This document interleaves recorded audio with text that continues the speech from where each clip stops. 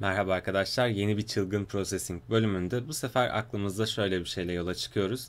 Bir tane kutu parçalardan oluşan uyduruk 3 boyutlu bir adamı hareketlendirelim.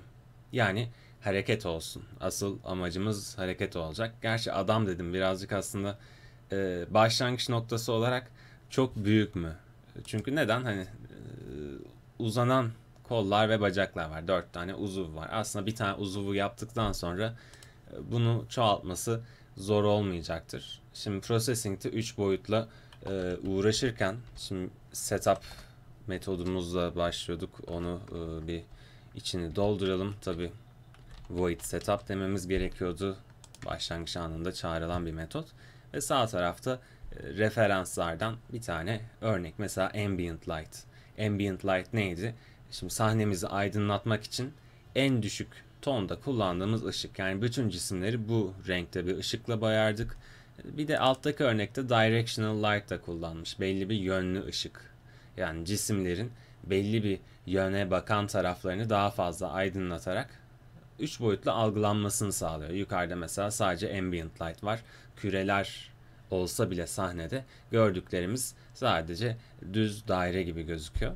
Şimdi hani başlangıç örneği olarak belki e, bu iyi olabilir. Şimdi size dediğimiz zaman e, P3D dememiz gerekiyordu OpenGL modunu aktif hale getirmek için. Biz biraz daha e, kolay gözüksün diye 1600'e 900 gibi o 9000 çok oldu. 900 gibi bir çözünürlük verelim. Tabi alışkanlık Ctrl S'ye de bastık. Buna adam diyelim. Adam. Bakalım adam olacak mı?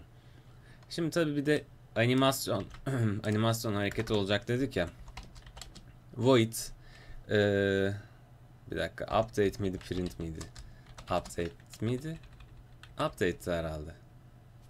Dur emin olamadım. Hemen bir önceki örneklerimizden bir tanesine gidelim. Her şeyi ezbere bilmek gerekmiyor. Ha draw metodu tamam. Tekrar tekrar çağrılan bir metodumuz. Draw metodu. Sahneyi daha doğrusu ekrana, pencereye çizdiğimiz şeyleri yeniden çizmek için çağrılıyordu. Biz şimdi 3 boyutlu bir ortamdan bahsettiğimiz için ona sahne demek daha doğru olacak belki ama e, yine çizdiklerimiz aslında 2 boyuta çiziliyor. Yani hani bazı numaralar yaparak 3 boyutlu tanımlı objeleri 2 boyuta aktarıyoruz. Çünkü ekranımız baktığımız zaman 2 boyutlu aslında ekran çizdiğimiz her şey 2 boyutlu bir yüzeye çiziliyor ama 3 boyutlu etkisini oluşturmak için e, en önemli belki işin içine giren faktör perspektif. Bizden uzaklaşan kısımların birbirlerine doğru veya belli bir noktadaki kaçış noktasına, ufuk çizgisine vesaire doğru birbirlerine yaklaşması. İkinci etken de farklı yöne bakan kısımların farklı renklerde veya farklı tonlarda gösterilmesi.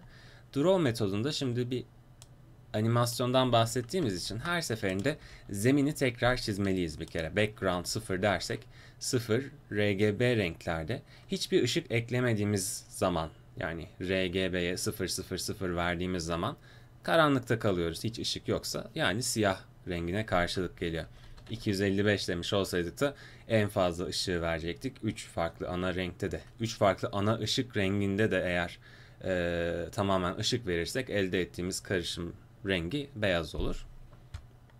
Şimdi no stroke demek isteyebiliriz belki. Çizdiğimiz şekillerin kenarı olmaması için. Bir tane ambient light ile başlayalım. Ambient light en ufak e, tonda ekranda her yeri boyadığımız renkti. E, bir tane de box metodunu kullanalım. Şimdi burada baktığımız zaman referansın içerisinde 3D primitives var. Bazı ilkel 3 boyutlu şekilleri daha doğrusu iki tanesini bir de sphere detail varmış o neymiş bakalım. Bunu hani görselini de göstermemiş ama. Hmm. Kürenin detay seviyesini de belirleyebildiğimiz bir metotmuş. Yani küre var bir de küp veya işte dikdörtgenler prizması var. Bizim muhtemelen farklı bir şekilde girmemize imkan tanıyan. Bunlar dışında da temel bir 3 boyutlu şekil yok. Başka 3 boyutlu programlara baktığımız zaman silindir, koni gibi şekillerle de karşılaşabiliriz ama temel şekiller genelde e, böyle çok da fazla değillerdir. Ama bizim için hani yeterli olacak. Bizim adamımızın her parçası veya kolumuzun her parçası kutu şeklinden oluşacak. E, hatırlarsanız bir de daha önceden değindiğimiz doğrudan temel bir şekilli çizmeyen bizim köşe noktalarını tanımlayarak şekiller oluşturmamıza olanak sağlayan bir metot yapısı da vardı. Ee, bunda onu yapmıyoruz. Bunda biraz daha kolaya kaçıyoruz. Box metodunu kullanacağız doğrudan. Şimdi ambient light dediğimiz zaman burada çeşitli değerlerle vermiş bize. Ee, hepsi aynıysa tek parametrede girebiliyor muyuz? Ama ambient light metodunun tanımından dolayı muhtemelen bunu girmemize izin vermiyor. Red, green ve RGB, red, green ve blue, e, kırmızı, yeşil ve mavi ışık renklerinden üçünü de ayrı ayrı yazmamızı bekliyor. Bunların miktarlarını eşit yazarsak gri tonları elde ederiz. Yani bu üç parametreyi eşit tuttuğumuz zaman 0'dan 255 arasında farklı gri tonlarını elde ediyoruz. Bu renklerden bir tanesi fazla bir tanesi az olduğu zaman da içinde renk olan tonlar elde ediyoruz. Şimdi box, şu box'ı çizdirelim mesela. Kutu şunu çizeceğiz dedik. Bu tarafa geri dönelim. Acaba fill dememiz gerekiyor mu? Burada baktığımız zaman fill dememiş mesela. Bir böyle deneyelim olmazsa. Dur yanlış yeri kaydettim. Translate, rotate belli bir yere taşıyoruz ıı, çizme imlecimizi. Ondan sonra çiziyorduk. Ama merkezde olması için herhangi bir translate veya döndürme işlemine gerek yok. Bakalım çalıştıralım. Her yer karanlık. Ha şurada bir şey görüyorum. Şurada bir küp parçası görüyorum sanırım. Sol üst köşede. Ama çok anlamsız bir yerde. Ee, demek ki sol üst köşeyi e, 0 0 0 noktası olarak sayıyor. Burada baktığımız zaman ne yapmış? Mesela translate ederek bunu biraz aşağı taşımış muhtemelen. Ekranın ortasına taşımak için şöyle bir şey belki yapabiliriz. Şimdi box'ımızın e, genişliği, yüksekliği, derinliği var. Box'ı çizmeden önce translate diyerek bizim çizme işlemini sağlayan bir e, kalemimiz var gibi düşünün. O kalemi belli bir noktaya taşıyabiliriz. Mesela bu durumda belki şöyle bir şey olabilir. 800'e 450'ye 0 desek. Bakalım acaba istediğimiz yere taşır mı? X, Y eksenleri belki Z derinlik gibi algılanıyorsa istediğimiz yere taşıyor olabilir. Ama burada muhtemelen bir sorunla karşılaşabiliriz. Çalıştıralım ama. Yok karşılaşmadık. Tamam. Demek ki şöyle. Draw'a her geldiğimizde bir translate yapılıyor ama Draw'a her geldiğimizde bizim çizme işlemini yapan kalemimiz olması gerektiği yere sol üst köşeye taşınmış oluyor. Aksi takdirde şöyle olurdu. Hani her translate işimizde belli bir miktar bu kalem ileri kayıyor olsaydı şöyle bir görüntü oluşurdu. Şimdi mesela şöyle düşünelim. Nasıl düşünelim? Mesela integer x hatta şöyle diyelim. Integer x'imizin 800 integer y'imizin de 450 olduğunu düşünelim. Ve ben burada translate metodunun içerisine x, y'yi yazmış olsaydım ve az önce dediğim gibi translate her seferinde işlemi üstüne ekliyor olsaydı kalemimiz 3 boyutlu ortamda çizen kalemimiz sürekli kayıyor olacaktı mesela böyle kenara doğru kayıyor şimdi. Neden? Her seferinde kalemimizi biraz daha aşağıya taşıyoruz. X'i Y'yi arttırıyoruz. Ama öyle bir şey yapmadık. Bunları geri alalım. Hatta Ctrl Z ile alalım. Şunlar geri, geri yerlerine yazılsın. Şimdi genişliğimiz, yüksekliğimiz, derinliğimiz. Bu tam bir küp olsun isteseydik hepsine aynı girecektik. Ee, o basit bir şey tabii ki. Bunu nereden itibaren çiziyoruz? Birazcık onu çözmeye çalışalım. Mesela şöyle düşünelim. 100'e 40'a 40'lık bir şey olsun bu. Şimdi x, y, z diye düşünüyorum. X ekseni. Yani yatayda daha geniş bir şey olacak. Hatta buna 150 diyelim iyice abartalım. Yatayda daha geniş olacak. Derinliği ve yüksekliği eşit olacak gibi düşünüyorum bunu. Ve merkeze çizmeye çalışıyor gibi duruyoruz şu an. Merkezden itibaren mi çiziyor mesela onu bir gözlemleyelim. Aynı zamanda da bunu yavaş yavaş döndürüyor olalım. Hangi eksende? Z ekseninde döndürelim. Eğer ekrana dik olan eksen Z ekseni ise processing'te e, birlikte öğreniyoruz unutmayın. E, rotate diyelim mesela. Ne diyeceğiz? Rotate belli bir açı miktarı. E, açılar in, şey e, float olarak da bahsedebiliriz açılardan. Acı diyelim. Açı dediğimiz şey ne kadarsa o kadar çeviriyor olalım. Hangi eksende? Rotate Z diyelim. Z ekseninde açı kadar çevir. Açıyı da her seferinde bir miktar arttıralım. Açı artı eşittir 0.01 bu da küçük olabilir 0.05 f olsun. Ee, saniyede eğer 30 defa çağrılıyorsa bu hani fena olmayan bir hızla dönüyor olacağız. Bir deneyelim bakalım ama yine çok istemediğimiz bir şeyle belki karşılaşabilir miyiz? Karşılaşmadık. Yo dönüyor güzel. Merkezden dönüyor. Mesela şu güzel bir şey. Bazen dikdörtgen çizerken dikdörtgenin referans noktası kendi haliyle sol üst köşesidir. Ama şu an bakıyoruz ki 3 boyutlu şeklin box olarak ifade ettiğimiz bu dikdörtgen prizmanın orta noktası gerçekten de bizim e, imlecimizi veya çizme kalemimizi taşıdığımız nokta. Onu referans olarak uzatıyor, büyütüyor. Ve biz her seferinde kalemimizi biraz çevirirsek eğer bu üç boyutlu ortamda çizimi sağlayan kalemimizi çevirirsek her seferinde biraz daha e, ne oluyor? İşte merkezinden itibaren dönüyor. Hani bu merkeze yerleştiği için merkezden dönüyor değil. Mesela şöyle bir şey yapsaydık. Translate 400'e 450'ye taşısaydık kalemimizi. Ondan sonra yine bir döndürüyor olsaydık bu sefer yine merkezinde ama başka bir yerde dönecekti. Bu arada şu önemli. Önce döndürüyor muyuz, önce translate mi ediyoruz? Çünkü aslında döndürdüğümüz zaman biz kalemimizi diye bahsettiğimiz bir şey var ya, koordinat sistemini döndürüyoruz. Yani şöyle olsaydı, önce döndürüyoruz ardından bir yere taşıyoruz olsaydı, her seferinde döndükten sonra taşıdığımız yer farklı bir yer olacaktı. Gördüğünüz gibi cismimiz belli bir nokta etrafında dönüyor şu an. Cisminiz kendi ekseninde dönmek yerine belli bir noktanın etrafında dönüyor.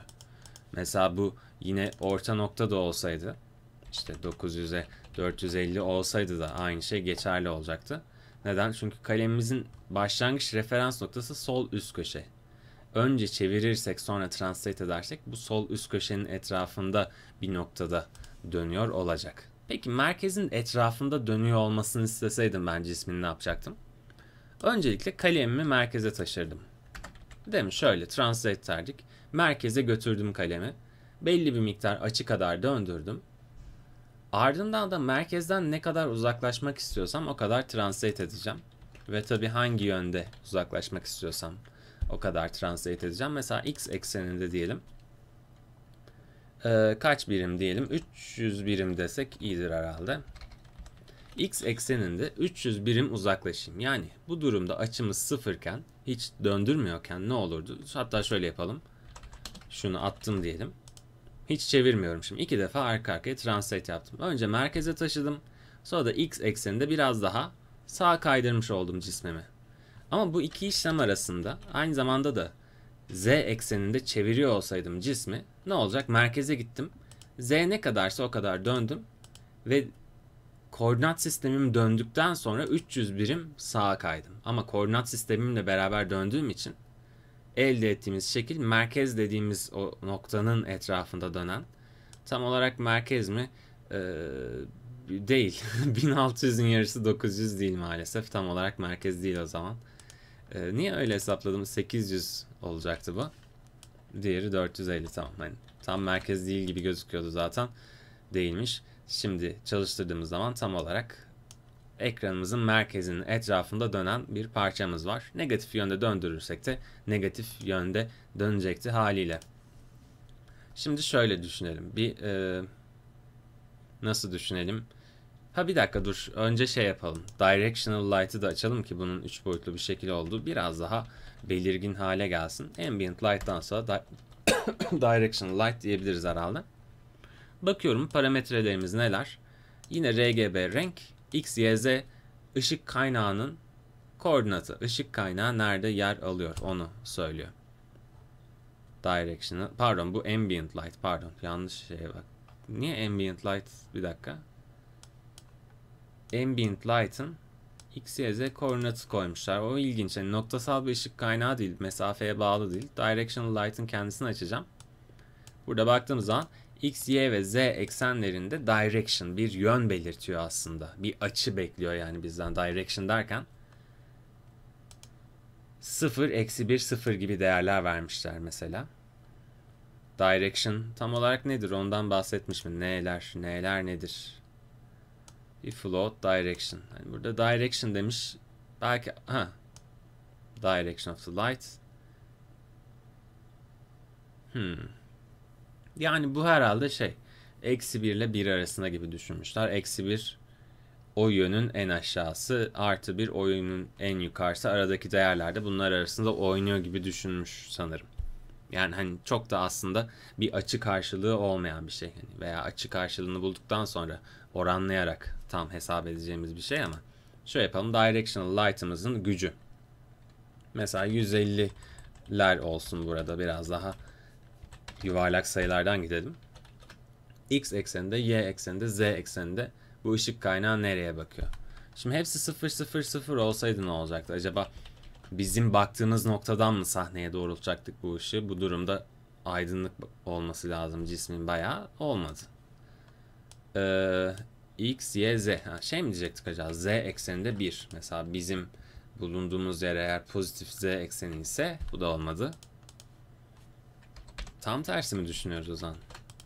Eksi 1 midir diyeceğiz Z ekseninde. Ha evet öyleymiş. Demek ki bu ne demek oluyor? Biz biz kendimiz negatif Z'de bulunuyoruz. Ve ışık kaynağında negatif Z'ye çektik mi oluyor bu? Tam tersi mi oluyor? Neyse emin olamadım. Böyle bir şeyler demek ki. 0 nokta şey eksi 0.5 olsaydı o zaman ne olacaktı?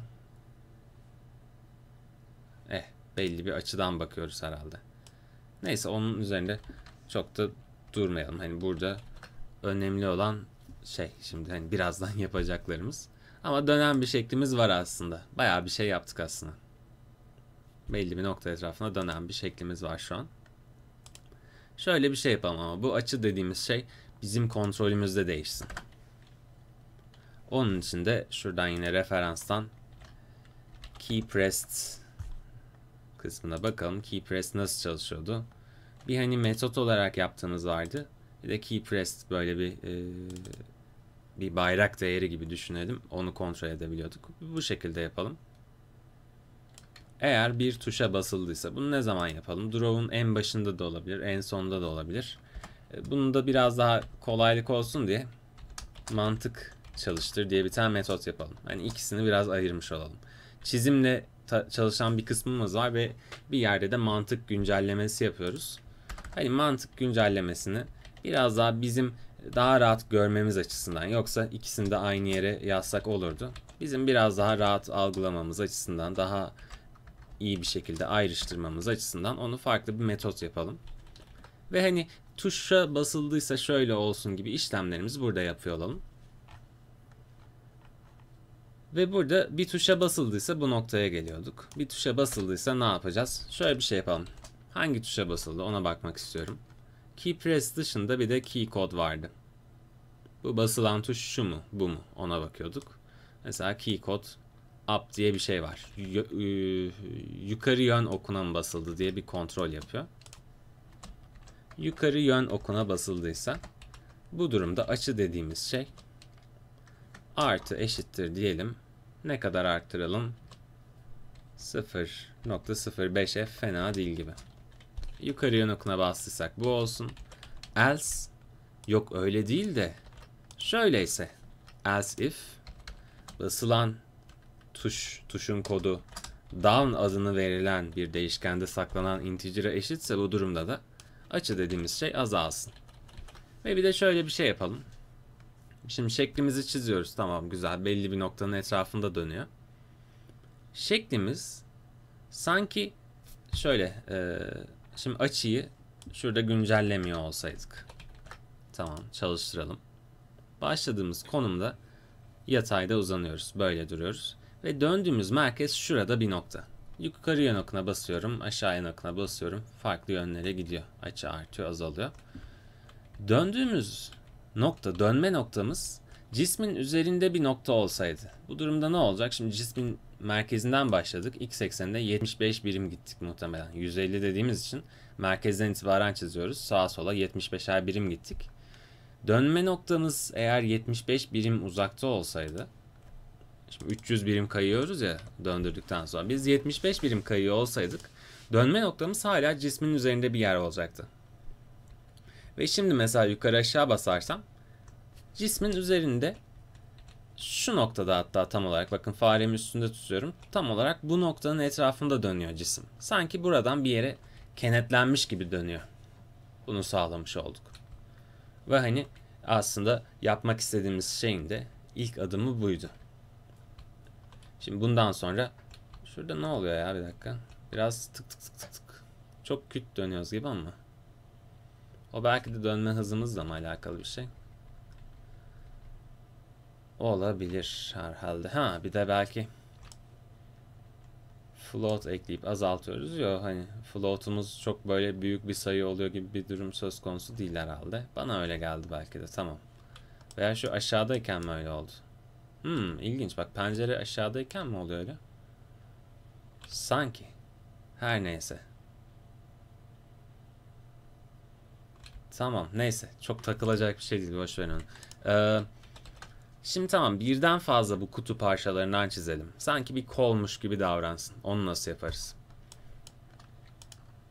Şimdi yukarıda ışıklandırmalarımız vesaire var. Ha bir de rengi farklı olsun istedik mesela. Onu nasıl yapıyorduk? Herhalde fill diyorduk ve rengini değiştiriyorduk gibi geldi bana. Bir deneyelim. Şimdi ışık kaynağımız falan söyledik. Fill ile dolgu rengimizi değiştirebiliyorduk. Hani biz yukarıda no stroke dedik ya çizgi kalınlığımız yok dedik. E, buradan renk seçiciye gelelim. Herhangi bir renk seçtik diyelim. Bu rengi kopyalayalım. Ve fill renginin içerisine yerleştirelim. Bakalım rengimiz değişecek mi? Ya da cismimizin rengi değişecek mi? Tamam değişti. Demek ki fill ile rengimizi değiştirebiliyormuşuz. Bu çok üç boyutlu gözükmüyor şimdi. Biraz daha köşeden falan görüntülüyor olsaydık daha üç boyutlu gözük gözükecekti.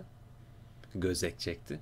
Ee, onu da nasıl yaparız? Mesela başta bir işte eksenimizi çeviriyoruz ya mesela rotate z ile biz kendimizi en başta z ekseninde çevirdik. Ekrana dik olan bir eksende çevirdik ama mesela y ekseninde belli sabit bir açıyla dönseydik her seferinde.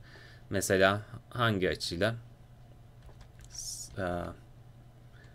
Bir diyelim mesela hangi açıya karşılık geliyorsa. 30 yok neyse dur derecesini atmayayım şimdi ama birazcık döndük diyelim. Mesela şimdi yukarı aşağı basıyorum. Hani tam orta noktada değiliz çünkü başta biz koordinat sistemimizi çevirdik ama bakın şimdi daha bir üç boyutlu görüyoruz yaptığımız şekli. Yani biraz daha üç boyut istersek e, en son bunu ekleyebiliriz ama şimdilik tam karşıdan bakmak bize biraz daha işimizi kolaylaştırıyor olacak. Mantık çalıştır.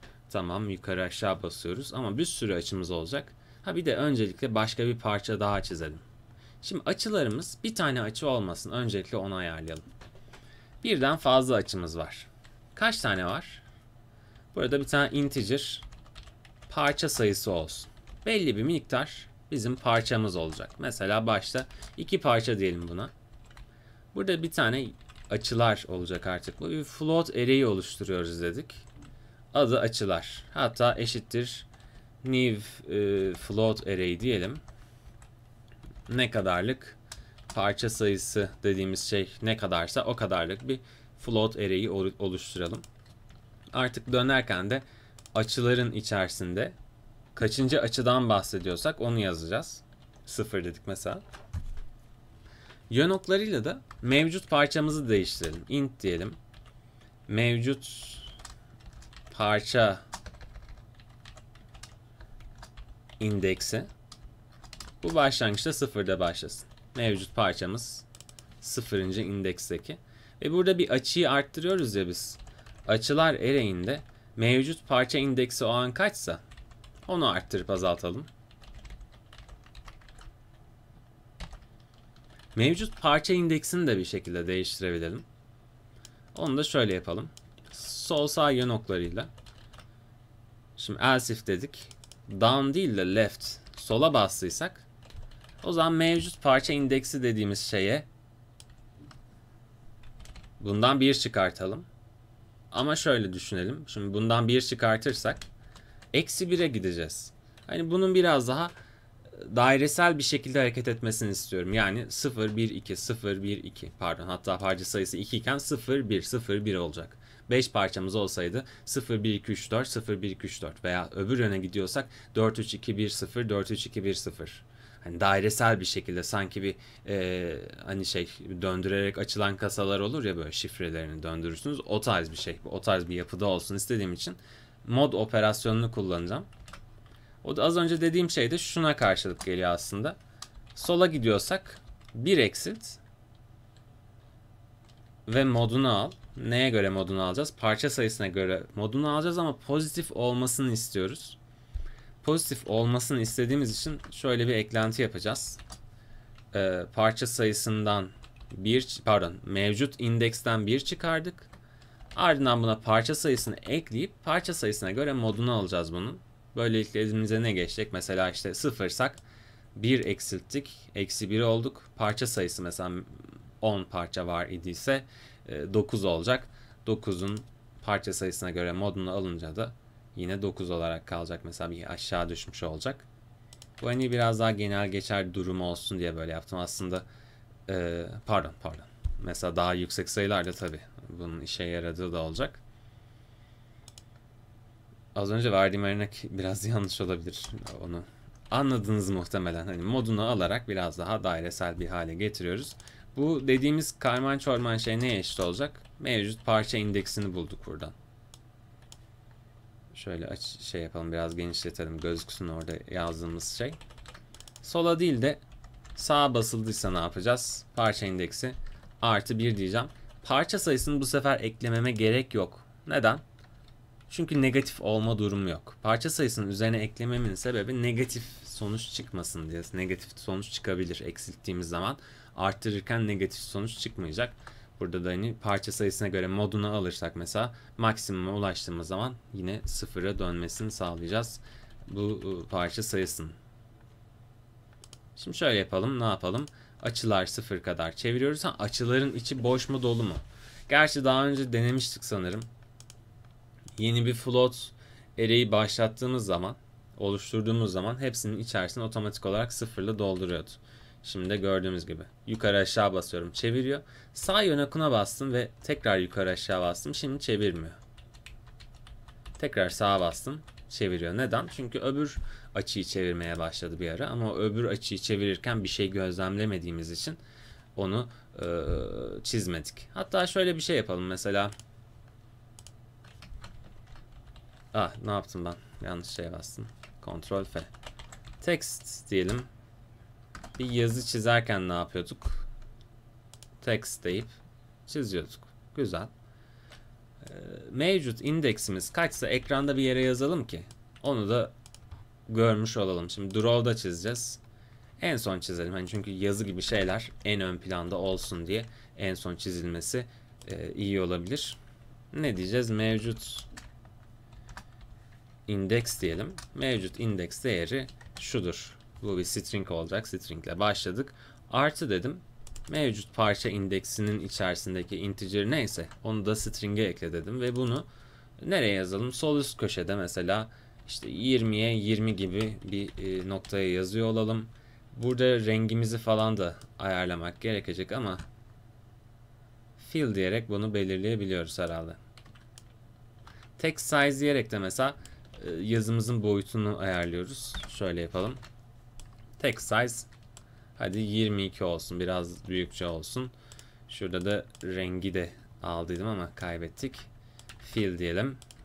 Beyaz olsun. Beyaz istiyorsam 255 diyebilirim. Herhalde bakalım. Şimdi çalıştırdık. Geliyor. Hazır. Aa. Bakın sağa bastım. Basılı tutarsam sürekli değişiyor. Neden? Çünkü mouse press'i kullandım. Eğer bas kaldırı kullanmak istiyorsam mouse down'u kullanmak isteyecektim. Ama bir şey fark ediyoruz. Bakın nereye çizdi. Yukarı aşağı yapacağım şimdi. İndeks sıfırken yukarı aşağı yapıyorum.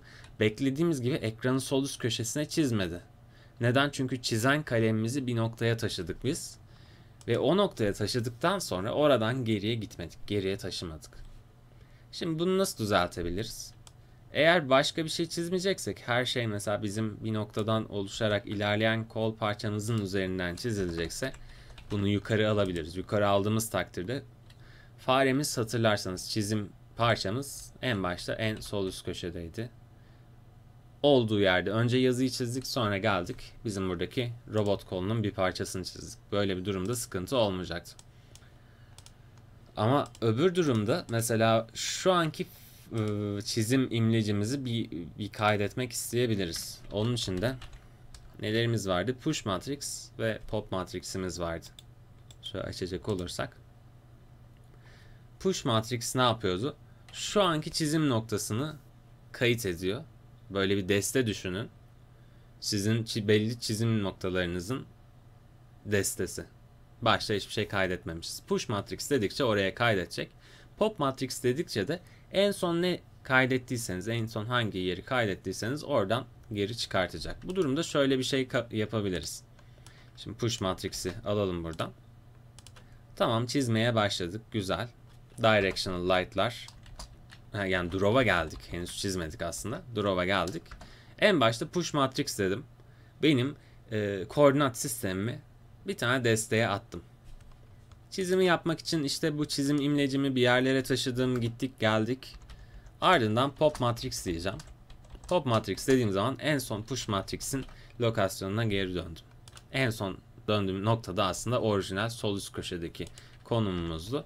Ardından ben yazıyı çizecek olursam yazıyı yine sol üst köşeye endeksli bir şekilde çiziyor olacağım. Şimdi çalıştırdım mesela. Çeviriyorum mesela şeyi. Gördüğünüz gibi mevcut indeks yazısının bulunduğu yer benim bu transform ve rotation işlemlerinden, yer taşıma ve e, çevirme işlemlerinden etkilenmedi. Şimdi bir de şeyi düzeltelim. Hani e, sağ sol tuşları bas kaldır olsun. Basılı tutarak olması onun saçma. Tabi yukarı aşağı işleminin basılı tutarak olması faydalı.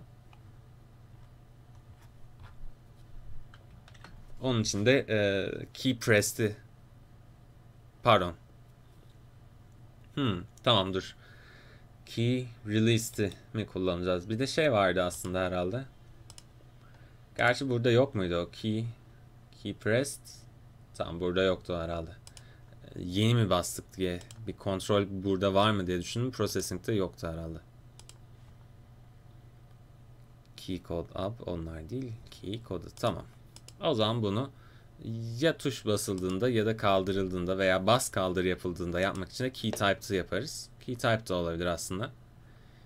Key released, key pressed.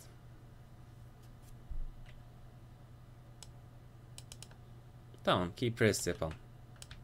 Key press metodu bir tuşa basıldığı anda çağrılıyordu. Muhtemelen bir deneyelim ama pardon mantık, mantık çalıştırın dışındayız. Tamam dur. Mantık çalıştırın dışı şurası. Tamam. Key press bir tuşa basıldığı anda bu sefer şu kısmı aldım buraya koydum. Draw metodunun içerisindeki sürekli bir kontrol yapıyordu. Buraya aldığımız takdirde key press metodunun içerisine aldığımız takdirde bir tuşa basıldığı anda çağrılacak. Sol sağ yön okları yine key kodu kontrol etme işlemlerimiz aynı. Neyi sağlayacak bu? sağ sol yönoklarına basılı tutsam bile mesela basılı tutuyorum. 1 oldu 0 oldu. Hani her basışımda bastığım anda değişiyor. Release yapsaydım bastım basılı tutuyorum bıraktığım anda işleme tabi tutardı. Hani hangisi e, kullanımı daha hoş gelecekse ne tür istiyorsanız ona göre olabilir. Mantık çalıştırımızdan tamam dışarı e, çıkmadan önce şu hızı bir şey yapsak mı diye düşündüm. Neyse kalsın hızımız şimdilik öyle kalsın. Şöyle yapalım. Nasıl yapalım? Ayrı bir box kutu parçası daha çizelim. Onu nasıl çizeceğiz? Şimdi düşünelim mesela. Ee, biz merkezdeydik. Merkeze gitmiştik. Merkezden belli bir açı kadar döndürdük koordinat sistemini. 75 birim x ekseninde pozitif yönde ilerledik. Ve x ekseninde 150 birimlik yer kaplayan bir parça çizdik. Ama imlecimiz hala bu parçanın merkezinde. Şimdi bu parçanın merkezinde olduğumuzu unutmamamız lazım. Onu hatta şöyle gözlemleyebiliriz. Her parçanın rengi farklı olsun belki daha iyi olur. Yine bir fil aldık şöyle. Buraya koyduk. Buna bir Hadi tamam renk seçiciyle seçelim güzel olsun kafadan atmayalım. Şöyle bir renk seçtik mesela. Yeni dolgu rengimiz. Bu parça Biraz daha uzun olsun mu? Şimdi daha rahat görelim diye bunu bir uzun yapalım. Ve biraz ince yapalım daha rahat görmemiz açısından. Hangi parça olduğunu çalıştıralım. Henüz bir onun için ayrı açı döndürmüyoruz ama hani çizdikten sonra hala aynı noktada olduğumuzu görebilmek için böyle yaptım. Ve mesela yukarı yön akına basıyorum. Dönüyoruz. Dönerken öbür parça da dönüyor. Hani robot kolu gibi bir mekanizma düşündüğümüz zaman bir parça öbür parçaya bağlı olacak ve öbür parçanın ekseninden dönecek aslında. Şöyle bir şey olsaydı mesela rotate z tamam burada var. Bu parçayı çizmeden önce de bir rotate z yapsaydık. Nasıl bir noktada yapalım onu? Şöyle bir noktada yapalım mesela. Hani filden önce mi sonra mı önemli değil aslında da bir hani standart belirlersek daha iyi olur işte. Fili çağırıyoruz önce, rengi belirliyoruz. Sonra translate rotate'leri yapıyoruz. Sonra şekil çiziyoruz. Fili çağırıyoruz. Rotate yaptık. Translate'de ekleyeceğiz ve şekil çiziyoruz. Şeklinde olsun. Ha bir dakika dur. Şey yanlış yaptık. Aynı açı değil de bu sefer öbür indeksteki açı kadar çevirelim. Yani hani öbür açıya geçmemiz gereksin. Şimdi yukarı aşağı basıyorum. Böyle dönüyor. Mevcut indeksi 1 yaptım. Yukarı aşağı basıyorum. Hani o parça da kendi halinde dönüyor. Hani birincisini çok da referans alıyor mu? İndeksi 1 yapalım. Ha, onunla beraber dönüyor aslında. Onun ortasına sabitlenmiş. Ama biz istiyoruz ki öbür parçanın ucuna sabitlenmiş bir parça gibi davransın bu. O zaman ne yapacağız? Şimdi 75 birim lik e, genişliğimiz vardı. Merkezden itibaren 150 birim demiştik hani. 75 birim sola 75 birim sağa gittik x ekseninde. Bu parçayı ilk parçayı çizmek için. O zaman ikinci parçayı çizmeden önce bizim bir 75 birim daha sağa kaymamız mantıklı olabilir. Şimdi buradaki translate'i neden yapıyorduk? İkinci translate'imiz aslında cismin genişliği kadardı. Şimdi cismin genişliği kadar bir daha gittik. Buradaki translate'i kullanmamız amacı, amacı şuydu. Dönme noktamızı değiştirmekti. Çünkü 75 birimlik bir cisim çizeceğiz. O yüzden dönüş noktamızı birazcık e, geriye taşımıştık. Bu sefer şunu yapıyoruz. Biraz daha ileri gittik ki yeni çizdiğimiz cisim buna ucuca eklensin. Ama yeni çizdiğimiz cisim ucuca eklensin diyorum.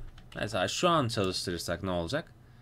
Yeni çizdiğimiz cismin merkezi öbürünün ucuna eklenecek. Mesela yukarı aşağı ile çeviriyorum. Tamam. İndeksi 1 yaptım. Çeviriyorum. Onun ucunda dönüyor. Mesela böyle yaptım. Burada çeviriyorum. Ben istiyorum ki onun ucunda dönmesin. Hani ucuca gelsinler bunlar. Bir kol gibi düşünün. Dönme noktası dirsek gibi davransın istiyorum. O zaman ne yapacağım? 75 birim gittim. Aynı zamanda da bu ikinci cismin genişliğinin yarısı kadar daha gitmeliyim. Aslında burada 75 birim gittiğimiz bizi öbür cismin ucuna taşıdı. Artı 110 kadar daha gideceğim ki diğer cismin genişliğinin e, yarısı. Tam ucuna geleyim öbürünün. Şimdi çalıştıralım. Ee, yukarı basıyorum. Ucuca gibi duruyorlar. Öbür indekse geçtim. Çevirdim. Burada sıkıntı ne? Şimdi buradan çevirirsem de olmayacak. Neden? Çünkü ortasında dönüyor. Hani açı sıfırken tamam. Şöyle yaparsak kol parçası gibi. Ama öbür açıyı döndürmeye başladığım zaman öbür açı kendi merkezinde dönüyor. Kendi merkezinde dönmesini istemiyorum. Dönme noktası şurası olsun istiyorum. Şimdi o zaman yukarıdaki mantıkla gidersek aslında dur orada bir şey yanlış düşündük muhtemelen. Ama şimdilik şunu yazalım mesela rotate pardon translate 110 demiş olsaydık. Hani tekrar bir 110 daha pardon translate 110 0 0 dememiz gerekiyor. Diğer eksenlerde translate etmiyoruz. Bunu demiş olsaydık ne olurdu? Hani yukarıdakine benzetmek için böyle demek aklımıza gelebilir. Ne oldu? Daha uzakta çiziyoruz. Aa ama o köşe noktasına dönüyor. Ama tam da o köşe noktasına dönüyor mu? Aslında az önce nerede dönüyorsa orada dönüyor. Ama çizdiğimiz yer ileri taşınmış durumda. Hmm, o zaman şimdi düşünüyoruz. Biz bu dönme noktasını aslında şuraya taşımak istiyoruz. Yani yapmak istediğimiz şey bu.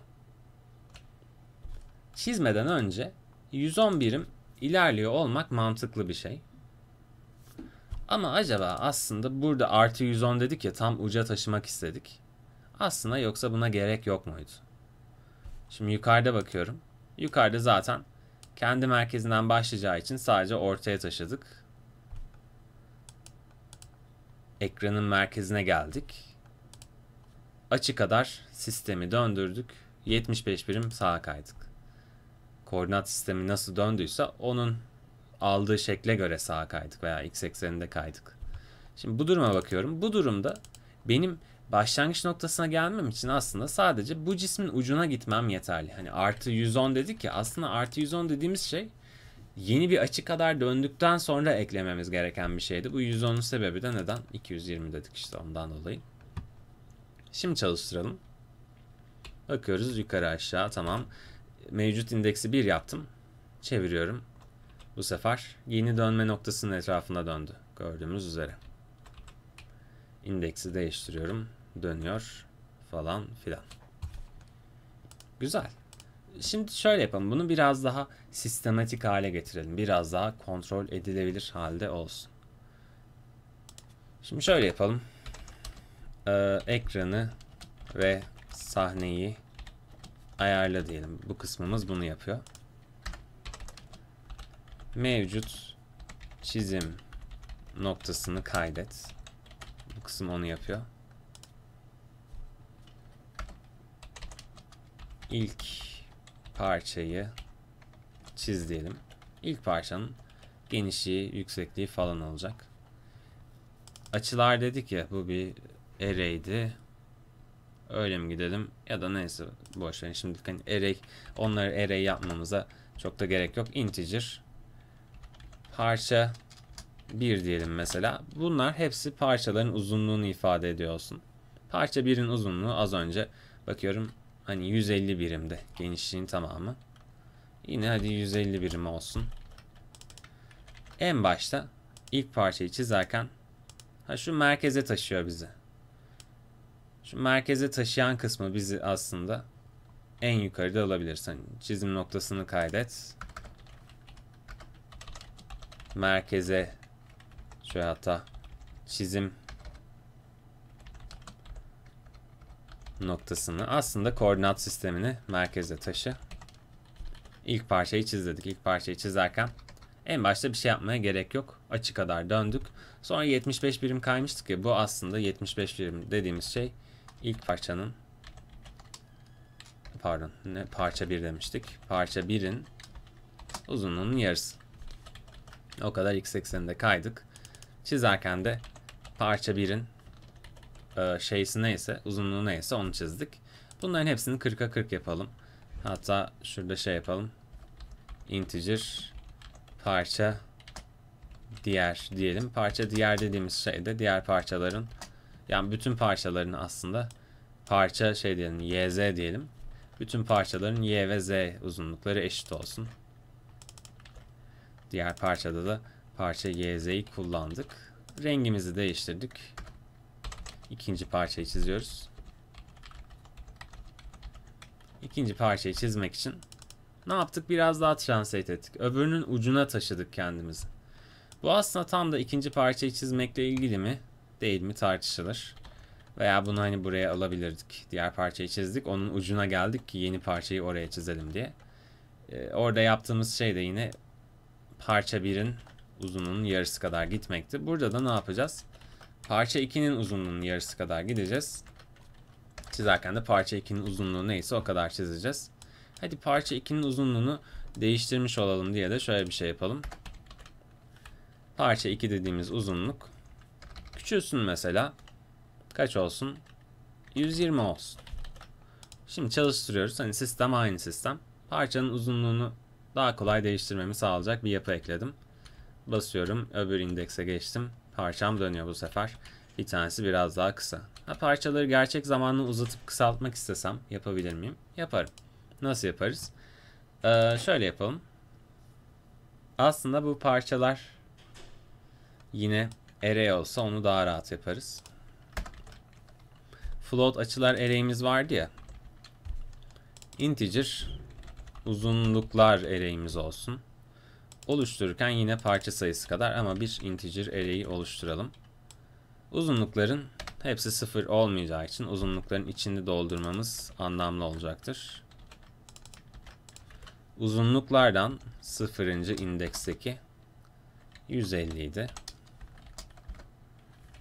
Uzunluklardan birinci indeksteki de az önce buna yeni bir sayı olarak 120 vermiştik. Bunları tuşlarla değiştirmek istiyorum. Mevcut indeksimi, mevcut parça indeksimi zaten sol sağ yön oklarıyla değiştirebiliyordum. Mantık çalıştırının içerisinde yeni if else'ler ekledim. Hangi tuşsa size kalmış. Mesela burada tuş kodları güzelce yazıyorlar mıydı? Ee, Java'yı bilenler aslında Java Key Event'ten geliyor bunlar demiş. Orada hani hangi tuşlar hangi isimde belirtildiyse onların kısa bir şekilde VK'sız halleri demiş. Mesela diyelim ki page up, page down'u kullanmak istiyorum. Bakalım olacak mı? Alt çizgimi kullanacağız. Bitişik mi yazacağız? Page down böyle istemedi. Page down. Hmm, böyle de yok mu page down belki? Daha farklı şekilde mi ulaşmamızı bekliyor?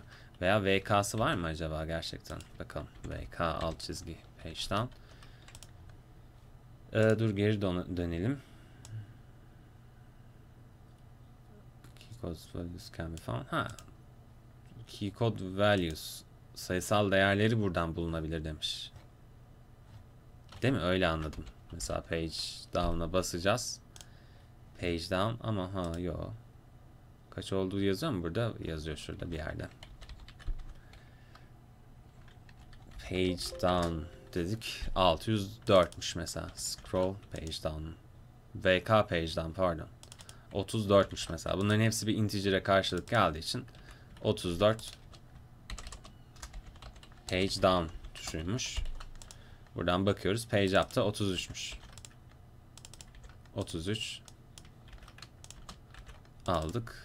Page up tuşu dedik. Ne yapacak?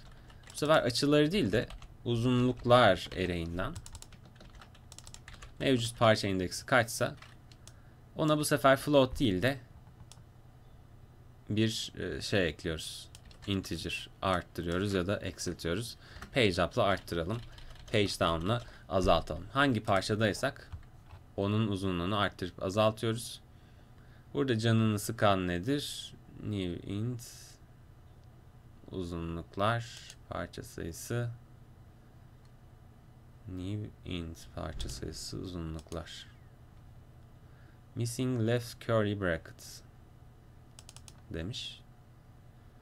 Uzunluklar hakkında. Şimdi uzunlukları tekrar bir şeye eşitliyoruz diye mi? Sıkıntı orada. Parça bir. Ha parça birler yok diyor tamam. Uzunlukları setup'ın içerisinde bir şeye eşitlememiz gerekecek herhalde o zaman. Şeyden dolayı herhalde array anca işleme tabi tutulduktan sonra oluşturulmuş oluyor. Tabi burada da artık parça 1 parça 2 değil de ne var? Uzunluklar 0 uzunluklar 1 var. Ee, parça 1 gördüğümüz yerlere uzunluklar 0 diyoruz. Diğerlerinin yerine de uzunluklar 1 diyoruz ve işi tatlıya bağlıyoruz. Şimdi çalıştıralım. Bakalım neler olacak. Yukarı aşağı sağ sol dedik. Aynı şekilde çalışıyor. Bu parça seçiliyken page up diyorum. Page up diyorum. Page up diyorum. Page down diyorum. Şey olmuyor. Hmm. Acaba o zaman page up ile page down'un şu şeylerinde sıkıntı mı var? Bahsettiği gibi bunlara tam eşit değil mi?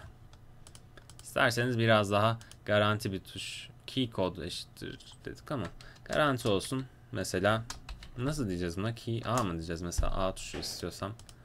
Daha önceden yaptık mı emin olamadım. A tuşu gibi bir şey. Key press'te göstermiş mi? Ee, şey diyebiliyorduk herhalde. Bu hangi tuştur diye bakarken mesela key tek tırnak içerisinde şu harf mi diye bakabiliyorduk. Öyle yapalım. Key dediğimiz şey küçük veya büyük hangisi ise bu tuş key kodla değil de key ile bakıyoruz şu an. Küçük A veya büyük A ise page down değil artık. Küçük A veya büyük A ise değil de Z ise diyelim buna. Çünkü aşağı yönünde daha anlamlı gibi duruyor Z tuşu. Uzunluğu azalt. öyle değil de A'ya basıldıysa uzunluğu arttır. Şimdi deneyelim bakalım. Herhalde page up, page down da down, page down ile ilgili bir sıkıntımız vardı. A'ya basıyorum. Uzuyor. Dönüyoruz mesela. Uzattık. Öbür indekse geçtik. Oynatıyoruz. A ile beraber uzattık. Z ile de kısaltabiliyoruz. Ha, negatife geçerse ne olur? Negatif yönde ilerliyor. Sıkıntı yapmıyor mesela. Yine böyle uzattık. Öbür indekse geçtik. Robot kolumuz hareket ediyor. Öyle geçti, böyle geçti. Şimdi bunları hani çoğaltarak, daha düzgün bir hale getirerek insansı bir şey yapabiliriz. Yapmak istiyor muyuz? Şimdi asıl soru orada. Bir kontrol edelim ne kadardır yapıyoruz bunu. 50 dakikadır yapıyoruz. Yani insansı bir şey yapmak adına şey mi yapsak diye düşündüm de bunu biraz daha animasyon yapma tarafına baksak daha iyi olabilir gibi geldi. Aslında hani tam olarak animasyon yapma dediğimiz şey de nedir? Belli açı değerlerini belli zaman değerleri için kaydetmek. Hani animasyon gibi dediğimiz aslında böyle bir şey. O değerleri biz bir noktalara getirip ayarlayabiliriz. Hani animasyonu oynatmak için şöyle yap, e, başlat şey kaydetmek için böyle yap gibi bir şey diyebiliriz. İsterseniz o tarafına bakalım. İşin daha belki e, şey olur. Daha anlamlı bir tarafı olabilir. Çünkü hani insan gibi bir şey yapmak için de bu operasyonu biraz daha düşün, düşünceli bir şekilde hiyerarşik bir halde ama yine benzer şeyleri yapacağız. Şimdi animasyon tarzı gibi bir şey olacaksa şunu düşünüyorum önce ben her bir açılardan belli bir miktar kadar olacak. Yani şöyle diyelim açılar hani açılardan bolca gerekiyor bana. Animasyonun farklı zamanları için açılar nerede yer alacak ona ihtiyacım var. Şöyle diyelim. Yani iki boyutlu bir array olarak düşünsek bunu. Ani açı diyelim. Animasyon açıları. Yeni bir float inde şeyse e, array'i ilk e, şeyde ilk eksende parça sayısı kadar değil de animasyonda kaç kare olacaksa o kadar olacak. Mesela 5 karelik bir animasyon. Maksimum 5 karelik bir animasyon olsun bu. 5 dedim. Ani açı parça sayısı. Tamam. Şimdi şöyle bir şey yapacağım. Nasıl yapalım? Dur düşüneyim. Bir tane boolean değişkenimiz olsun ani başla olsun ve false olsun. Animasyon başladığı zaman true olacak. Animasyon başlamadıysa animasyonun yeni karelerini hareket ettiriyoruz. Animasyona kare ekliyoruz diye düşünün. Şimdi bizim parça sayımız açılar o ayrı bir şey. O orada dursun. Animasyon açılarımız ee, aslında şöyle bir değişken olsun. Integer maksimum animasyon karesi. Yani 5 dediğimiz şey burada duruyor olsun. Maksimum animasyon karesi kadar ilk e, indekse bunu tutuyor olalım. O ardından da parça sayısı kadar gidiyoruz. Ne oluyor yani bu? Sıfırıncı animasyon karesi için parça sayımız şu an 2. Birinci parçanın açısı ne? İkinci parçanın açısı ne? Animasyon karesi 2 için bu parçaların açıları ne? Onları tutuyoruz ve animasyonun iki farklı karesi arasında zaman geçtikçe bu parçaların açılarını daha doğrusu mevcut açımızı mevcut açımız şuradaki. Çünkü çizerken hep bunu kullanıyoruz. Bunu yavaş yavaş değiştiriyor olacağız. Maksimum animasyon karesi varsa animasyonu oynatacağımız için bir de mevcut animasyon karesine ihtiyacımız var. Mevcut ani kare diyelim buna. Mevcutumuz sıfırıncı karedeki. Şurada ani kare var ya hani ilk ilk eksenimiz sıfırıncı karedekileri önce kaydediyoruz ekliyoruz mesela bunu. Birinci karedekileri kaydediyoruz vesaire. Hepsini kaydettikten sonra da animasyonu e, oynatıyoruz. Şimdi şöyle ani başla operasyonu. Şimdi mantık çalıştır dedik ya. Mantık çalıştır bize ne sağlıyor? Parçayı uzat, kısalt. Hadi tamam animasyon sırasında uzayıp kısalmasın daha iyi. Ve açıyı değiştirme imkanı tanıyor. Mantığı biz sadece şöyle yapalım. Mantık çalıştır dedik ya. Eğer Animasyon başlamadıysa, ani başla false'sa bu durumda mantığı çalıştıralım draw'un içerisinde. Açıları ayarlamamıza imkan tanısın. Aksi takdirde else kısmına geldim. Aksi takdirde ani oynat diye bir metodumuz olsun. animasyonu oynatıyor olsun. Tabi bunu daha yazmadık. Gelelim buraya. Şöyle bir yere belki void bir metot olan ani oynat metodunu yazalım. Henüz bunun içerisini doldurmayacağım. Onu birazdan yapacağız. Öncelikle şunu yapalım. Mantık çalıştırırken bir tuşla da animasyonun mevcut karesi için şöyle bir şeyimiz var ya mevcut mev ani kare mev ani kare için bütün açıların hangi açıda olması gerektiğini bir tuşla ekliyor olalım. Şimdi ben bunu aldım. Bir tane daha elsif yapısı ekledim. Hangi tuş olsun? Mesela I olsun. Küçük I, büyük I. Mesela animasyon programlarında insert tuşu olarak geçer. Ne yapmak istiyorum onu düşüneyim. Aslında ufak bir döngüye ihtiyacım var. Integer i sıfırdan başlasın. Nereye kadar gideceğim? Parça sayısına kadar gideceğim. Parça sayımıza gidene kadar yani sıfırıncı ve birinci indeksler için yapacağız aslında şu anki durumda. i'yi arttırarak gidiyorum. Her bir parça için ne yapmak istiyorum ben? Her bir parça için ani açı dedik. Açıları, animasyon açılarını buraya kaydedeceğiz. İlk eksende ne var? Bakıyoruz. Ee, Mak neydi ya? Ma maksimum animasyon karesi tamam. ee, mevcut animasyon karesi neyse mesela başta sıfırıncı indekseyiz. Mevcut animasyon karesinin i'inci parçasını, her parçasını e, ayarlayacağız çünkü. Belli bir yerden alacağız. Nereden alacağız? Şu an mevcut açımız neyse. Açılarda i'inci indeks bize şu anki açı değerini verecek. Yani ben bir konuma getireceğim kolu. i'ya basacağım. Bu animasyon karesi olarak eklenecek. Ardından mevcut animasyon karesini bir arttıracağım. Evet. Sonra da şunu kontrol etmem gerekecek aslında. Eğer mevcut animasyon karesi eğer mevcut animasyon karesi maksimum animasyon karesine eşit veya ondan büyük hale geldiyse maksimuma ulaştıysak yani maksimuma ulaşınca demek ki animasyonumuzu başlatmak için her şey yerli yerinde anlamına gelecek. Bu durumda ne yapacağım? Mesela hani bir sorun oldu da o değeri aştı diye düşünelim. Aslında mantık çalıştırı ekledik ya bunu yanlış yere ekledik. Dur bunu mantık çalıştırı değil de çünkü tık tık bastıkça eklemek istiyorum ya. Bunu şöyle for döngüsü if'i şurada bitiyor. Bunu alalım. Key press'e koyalım. Çünkü tık tık diye ekleyeceğiz. Basıl tutulduğu süre boyunca yeni kare eklemek istemiyoruz. O zaman gerçekten aşar. Ama hani olur da aşarsa diye mevcutu burada eşit veya büyük olduğu takdirde yine maksimum ani kareye eşitleyelim. Ha burada da bir sıkıntı var aslında. Maksimum ana, ani kareye eşit olmaması lazım. Ondan bir eksik olması lazım. Burada tekrar düşündüm de animasyonu baştan başlatacağımız için bu durumda sıfıra eşitlemek ve ani başlayı doğru hale, true hale getirmek daha faydalı olacak. Ani başla Burada animasyonu başlattığımız için artık yeni kareler eklenemeyecek. Animasyon nasıl oynanması gerekiyorsa öyle oynatacak.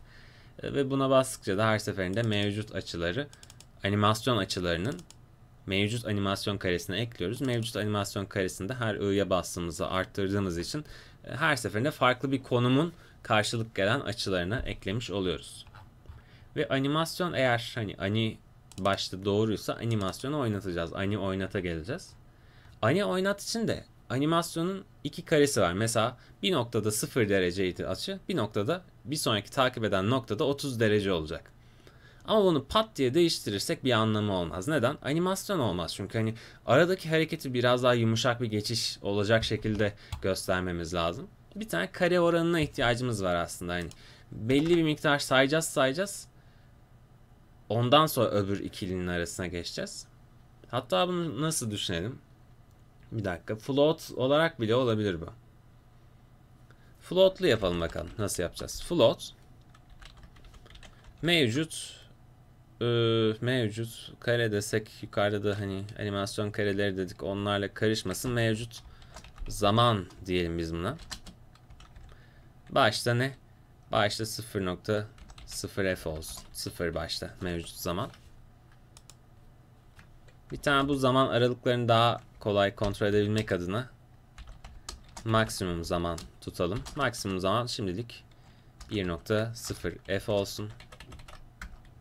Bir tane daha float. Aslında dur maksimum zaman hep 1 olsun. Ee, delta zaman diyelim. Zamanı ne kadar ne kadar arttıracağız. Delta zaman 0.05 f olsun mesela.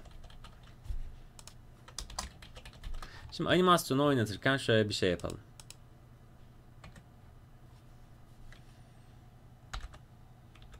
Mevcut zaman artı eşittir delta zaman. Delta zamanı mevcut zamanın üstüne her karede ekliyor olalım. Animasyonu oynattığımız her karede mevcut zamanı ekliyoruz. Ardından şöyle bir şey kontrol ediyoruz. Mevcut dedi zaman dediğimiz şey 0 ile 1 arasında değişsin istedik.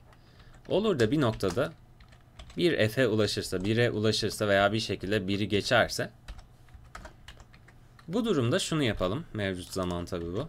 Mevcut zaman 1'e ulaştığı zaman mevcut zamanı tekrardan sıfırlıyor olalım. 0 f'e eşitleyelim. Bu hani sıfırdan 1'e sayan, sürekli sıfırdan 1'e sayan ve hani noktalı değerler alan, float değerler alan bir değişken.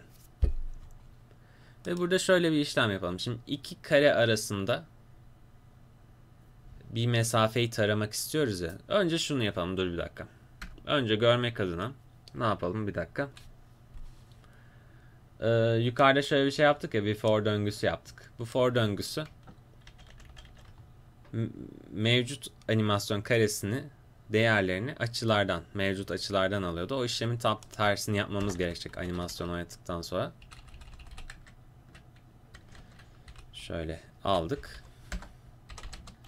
Mevcut kare için değerleri ata. Hani yukarıda bir şeyler yapıyoruz, sayıyoruz. Mevcut kare için ardından değerleri atacağız. Mevcut kare için değerleri atmak atamak ne demek? Şu anki açılar iyi için hani her bir parça için açımızı mevcut kareden almak demek aslında. Mevcut animasyon karesinin bir arttırma işlemimiz yok bu sefer. Onu ayrı bir yerde zamana bağlı yapmak istiyoruz. Şu animasyon başlatma işlemi de burada yok. Mevcut karemiz neyse o an onun değerlerini buradan alıyor. Tamam mevcut zaman 1'e ulaştıkça da şöyle bir şey yapalım. Mevcut animasyon karesi dediğimiz şey eşittir şu olsun. Mevcut animasyon karesi artı 1'in artı 1'in maksimum animasyon karesine göre çünkü hani o değeri aşmaması gerekiyor ya bu array olduğu için ona göre moduna eşit olsun. Yine hani mesela 0 1 2 3 4 0 1 2 3 4 şeklinde gidiyor olacak ve her seferinde yeni bir kare için biz değerleri çizdiriyor olacağız. Bu durumda çalıştıralım şimdi bakalım neler olacak. Şimdiden çok iç açıcı şeyler olmayacak ama bir başlangıç noktası da olacak yine de. Bir açı veriyorum mesela ben parçalarımı koydum. I'ya bastım. Aslında orada eklendi gibi bir şey de desek güzeldi. I'ya bastım. 5 kare eklemem gerekiyor. I'ya bastım. Bakın oynamaya başladı. Pat pat pat geçiyor. 1, 2, bir dakika kaç? 1, 2, 3, 4. Anlayamadım ama neyse. Yeterince ekledik mi? Başta bir çok mu ekledik? Ne yaptık? Neyse. Tık tık tık tık gidiyor animasyon. Neden? Çünkü ara kareleri düşünmedik. Şimdi bu iki kare arasında, iki açı değeri arasında ben aslında mevcut zaman dediğim şeyin bir faktörüne bağlı olarak mevcut açıyı ayarlayabilirim. Nasıl ayarlarım? Şimdi şurada yazan şey nedir? Burada yazan şey şu anki benim baktığım karedeki değerler.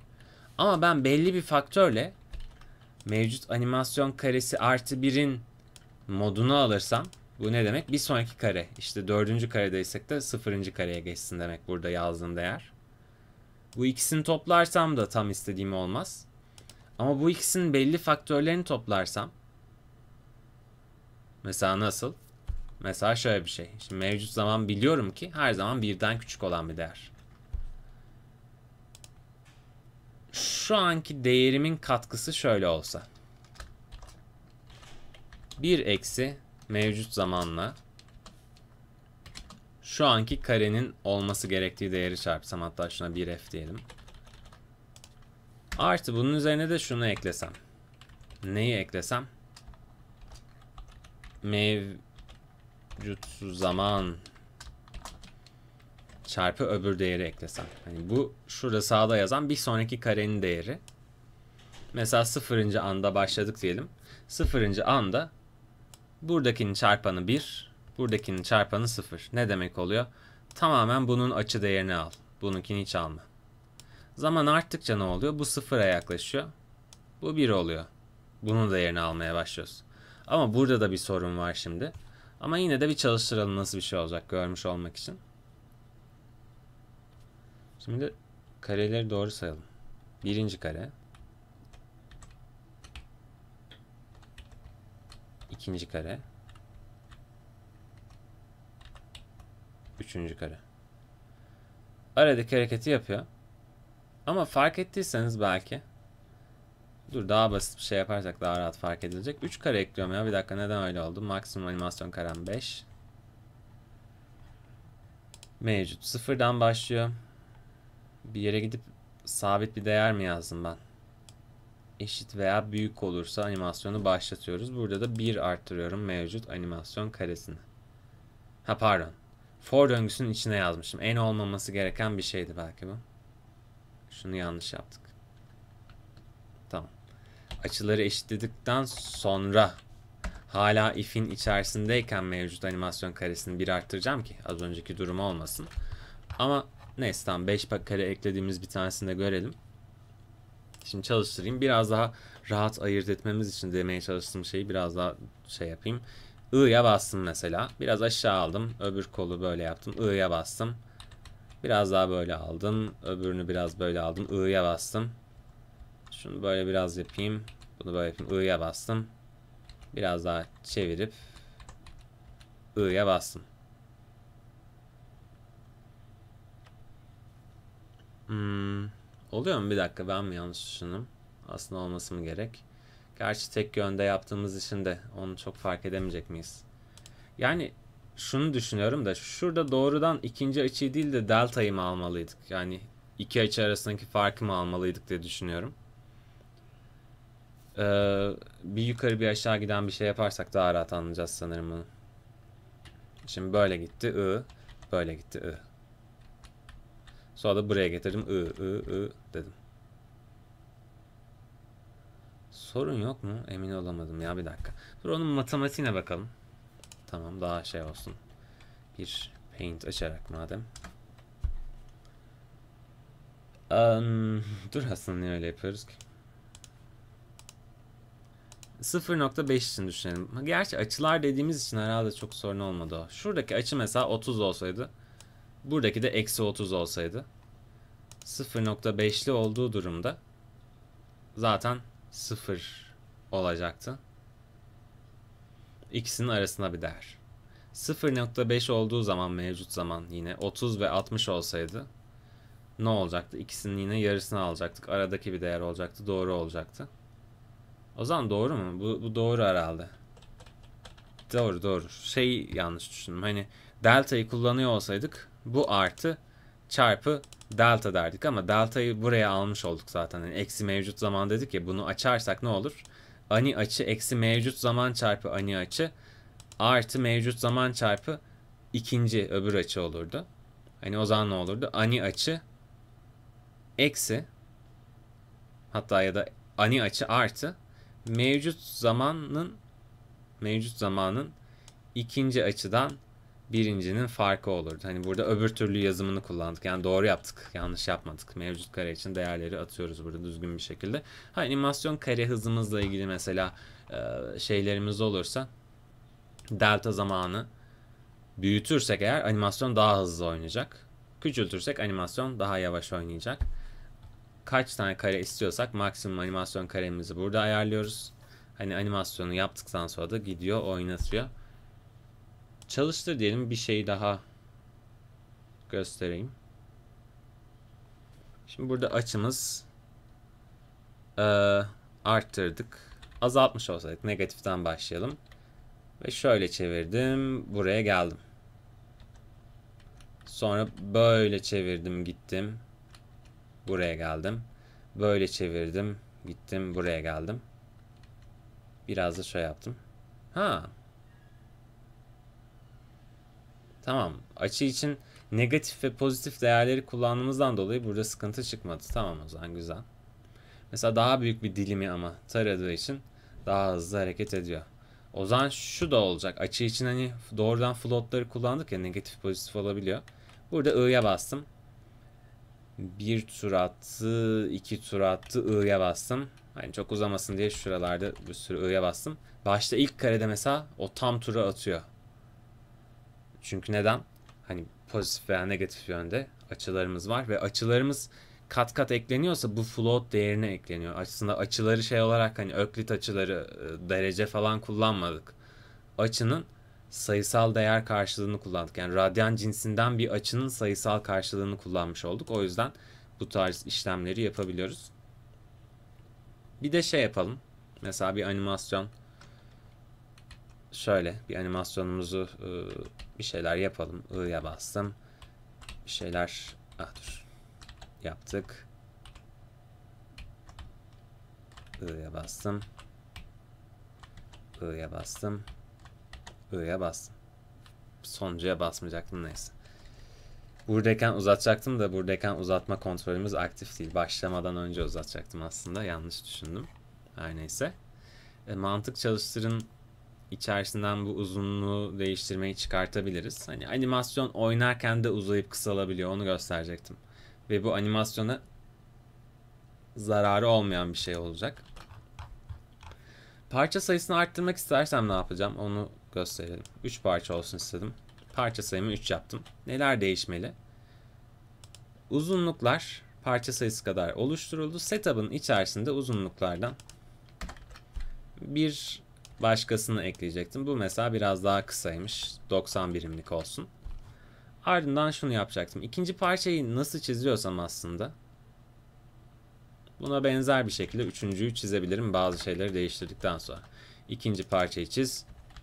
Üçüncü parçayı çiz. Şimdi ikinciden itibaren çizeceğim. Yeni bir renk alalım buradan bir yerden.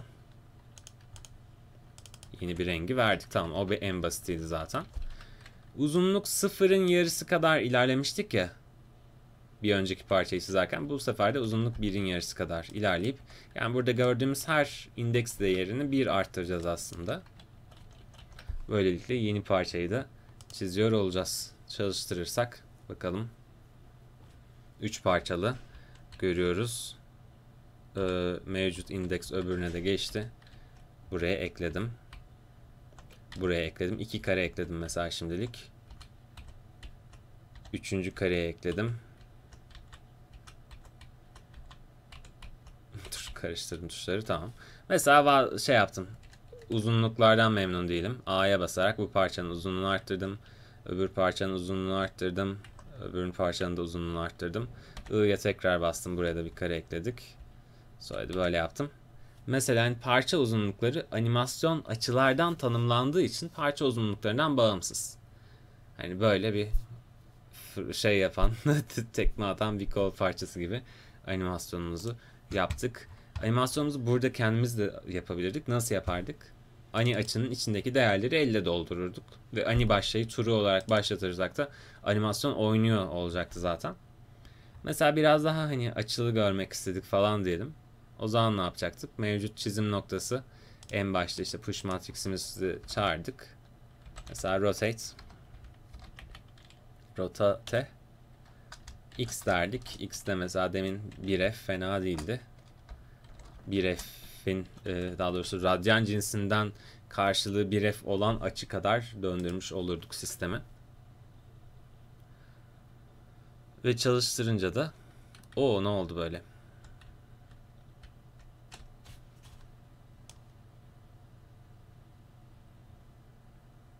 Yanlış yerde yaptık da ondan. Merkeze taşıdıktan sonra o işlemi yapmak istiyorduk. Merkeze taşı. Sonra çevir ki hani bir merkezden itibaren çevirirsek hani öbür türlü çevirdikten sonra merkezi bulmaya çalışıyoruz. Çevirdikten sonra merkez farklı bir koordinat yerinde. Ama mesela şimdi görüyoruz. Parçalarımızı çevirdik diyelim. I'ya bastık. I'ya bastık. I'ya bastık. Ne oldu bir dakika?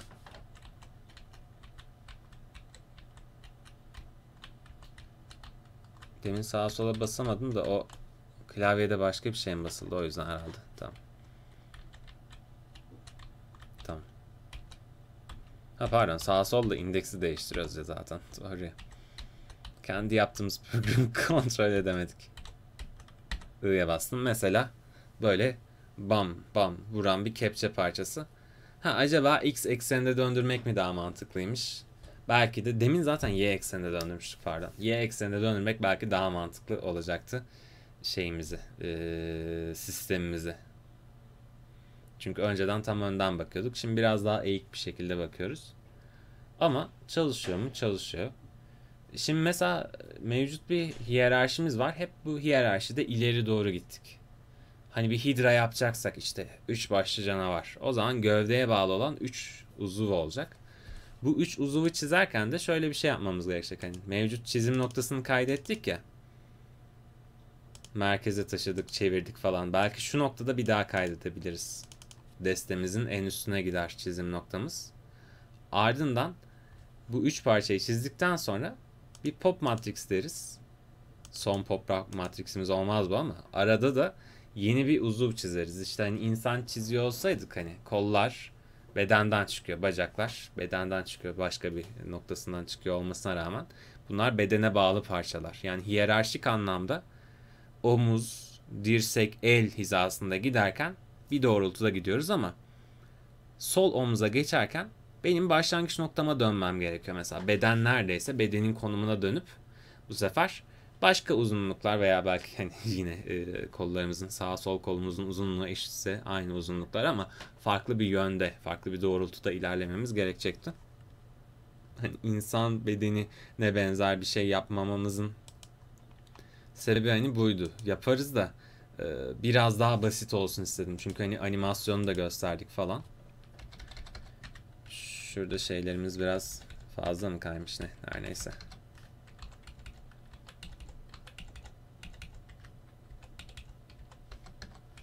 Şöyle düzgün gözüksün. tamam. Böyle bir şey yaptık. Başka ne eklenir buna? Yani kullanıcının daha rahat algılaması için bazı şeyler eklenebilir. Yani şu an hangi delta zamandayız? Şu an hangi animasyon karesini gösteriyoruz? Basınca kaydettik mi? O önemli mesela. I'ya basıyorum basıyorum bir şey olmuyor zannediyorum ama meğer animasyon karesini ekliyor. Bunu hani algılayabilmemi sağlamak için bir noktada bu tuşa basınca tamam eklendi falan şu kare eklendi gibi bir ekranda mesaj yazıyor olabilir. Şu bir de rotate y ekseninde çevirelim bunu. Ee, daha anlamlı gözüksün. Bir bakalım. Mesela şimdi böyle bakıyoruz. I dedik. Ha bir de şundan bahsedelim. Böyle bir hayalet görüntüsü gibi arkadan e, kalıntıları olsun isteseydim ne yapardım? Background'ı çizerken bir de alfa değeri eklerdim. Şuradan referansa gidelim. Background şuradaymış. Background dediğimiz zaman bir renk ekliyorduk ya. Ama rengin yanında alfa değeri de ekleyebiliyoruz veya gri tonu artı alfa. Alfa dediği değerde opacity. Ne kadar koyu bir renkle arka planı dolduruyoruz onu temsil ediyor. Mesela burada 0.8 f diyelim. Önceki kareden de belli bir miktar renk alacak yani. Veya ekranı tamamen siyaha boyarken çok koyu bir siyaha boyamayacak. Biraz arkasını gösterecek bir siyaha boyuyor olacak. Mesela şimdi bir animasyon yapalım. I'ya basıyorum ben yine arada. Böyle kendi şeyimizi biraz zor kontrol ettiğimiz için bir, bir şekilde basıyorum yine.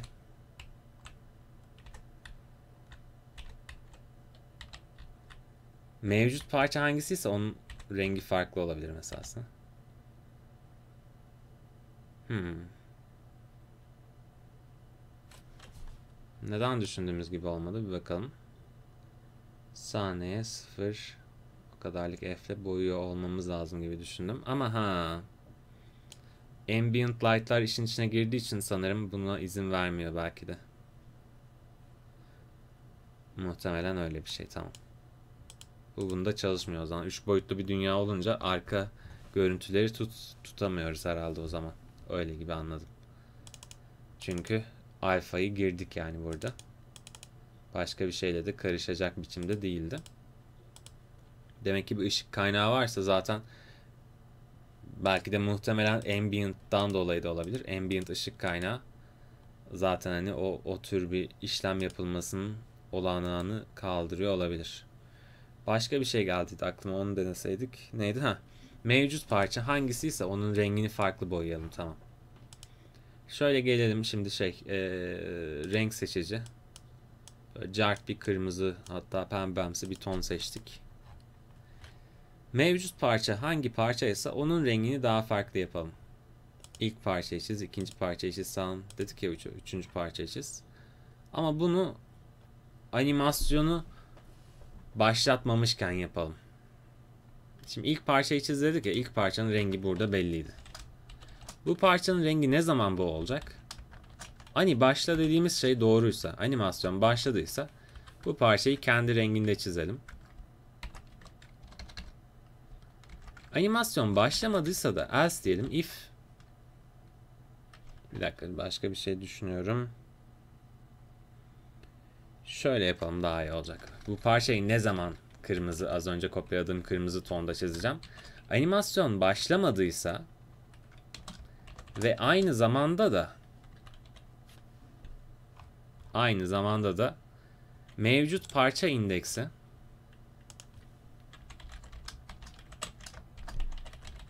mevcut parça indeksi dediğimiz şey sıfırsa çünkü sıfırıncı indeksteki parçayı çiziyoruz. A'sını düzgün yazalım. Bu durumda benim dolgu rengim şu kopyaladığım olacak. Aksi bütün durumlarda else dedim. Cismi orijinal rengine boyayacağım. Fil kısmını da şöyle aldık. Şimdi buradaki mekanizma çalışan bir mekanizma olduğunu düşünüyoruz. Bunu alalım. Bütün diğer renklerin başına atalım. Parçanın orijinal rengini çizeceğimiz kısımlara kendi orijinal dolgu renklerini yapıştıracağız ve mevcut parça indeksi bu sefer hani ikinci parça için indeksin e, olması gerekiyor. Üçüncü parça için de indeksimizin 2 olması gerekecek ama dolgu rengimiz yine bu renk olsun. Mesela az önce kullanırken biraz zorluk çektiğimden bahsettim ya hangi parça dönecek çok iyi düşünemedim. Bu mesela biraz daha rahat düşünmemizi sağlayacak. Şimdi pembe olarak gördüğümüz parçayı ben sağ solla değiştirebiliyorum. Ve hangi parça seçiliyse I'ya bastım mesela. Hangi parça seçiliyse onu döndüreceğimi bildiğim için biraz daha kolay oluyor işim.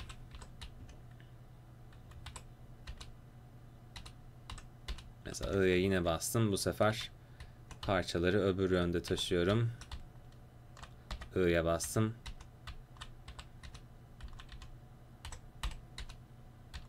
I'ya bastım. Animasyonu oynatırken gördüğünüz gibi o pembe parçayı görmüyorum.